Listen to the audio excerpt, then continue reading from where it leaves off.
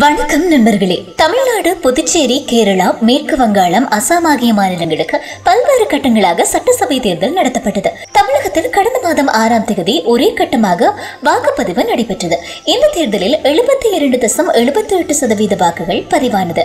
இன்றைய தினம் ஞாயிற்றுக்கிழமை காலை எட்டு மணிக்கு தமிழ் தமிழகம் முழுவதும் எழுபத்தைந்து மையங்களில் ஓட்டு எண்ணிக்கை தொடங்கி விறுவிறுப்பாக நடைபெற்று வருகின்றது. காலை ஒன்பது மணி முதலே முன்னிலை நிலவரம் வெளியாக தொடங்கியது. திமுக கூட்டணி அதிக இடங்களில் முன்னிலை பெற்றது. அதிமுக பின்தங்கியது. மதிய நேர நிலவரப்படி இருநூற்று முப்பத்தி நாலு தொகுதிகளுக்கான முன்னிலை நிலவரமும் வெளிவந்தது.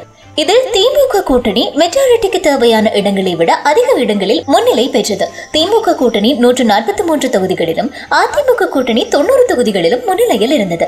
திமுக மட்டும் நூற்று பதினாறு தொகுதிகளில் முன்னிலையில் இருந்தது. மக்கள் நீதி மய்யம் கட்சி ஒரு தொகுதியில் முன்னிலை பெற்றிருந்தது. அதன் பின்னர் மேலும் சில தொகுதிகளில் அதிமுக பின்தங்கியது. திமுக மெஜாரிட்டிக்கு தேவையான நூற்று பதினெட்டு இடங்களில் முன்னிலை பெற்றது. மாலை நான்கு மணி நிலவரப்படி திமுக கூட்டணி நூற்று ஐம்பத்தி ஏழு இடங்களிலும் அதிமுக கூட்டணி எழுபத்தாறு இடங்களிலும் முன்னிலையில் இருந்தது. மக்கள் நீதி மையம் ஒரு தொகுதியில் தொடர்ந்து முன்னிலையில் இருந்தது. சில தொகுதிகளில் வாக்கு எண்ணிக்கை முடிந்து வெற்றி நிலவரங்களும் வெளியானது. தற்போதுள்ள முன்னிலை மற்றும் வெற்றி நிலவரத்தை பார்க்கையில் திமுக ஆட்சி அமைப்பது உறுதியாகிவிட்டது. அந்த கட்சியின் தலைவர் மு க ஸ்டாலின் முதலமைச்சர் ஆகுகின்றார். பத்து ஆண்டுகளுக்கு பிறகு தமிழகத்தில் மீண்டும் தி திமுக ஆட்சி மலர்கின்றது.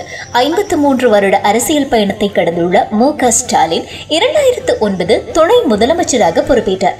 தற்போது முதல் முறையாக முதல்வர் நாற்காலியை அலங்கரிக்க உள்ளார் அவருக்கு அரசியல் கட்சிகளின் தலைவர்கள் தற்போது வாழ்த்துக்களை தெரிவித்த வண்ணம் உள்ளனர். மேலும் தமிழக தேர்தல் தொடர்பிலான முக்கிய செய்திகள் வெளிவரும் போது அவற்றினையும் தெரிந்து கொள்ள வணக்கம் லண்டன் யூடியூப் சேனலை சப்ஸ்கிரைப் செய்யுங்கள்.